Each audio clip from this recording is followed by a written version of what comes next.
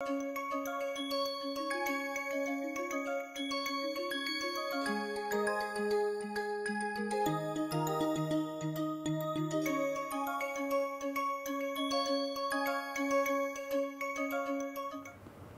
students, I am Soumyajit Mukherjee, a faculty member in the Department of Earth Sciences, IIT Bombay.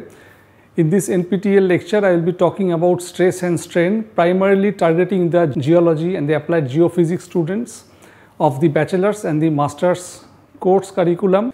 The subject of stress and strain is of great importance not only in structural geology but also in engineering geology, geomechanics and plate tectonics.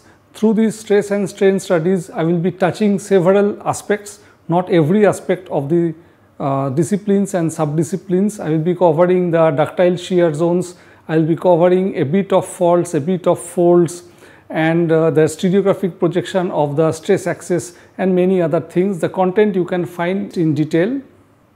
The issue of stress and strain has also been covered very extensively in mechanics and in civil engineering branches. So, not everything of stress and strain I will be covering in this course rather a few selected issues and their geological applications will be discussed.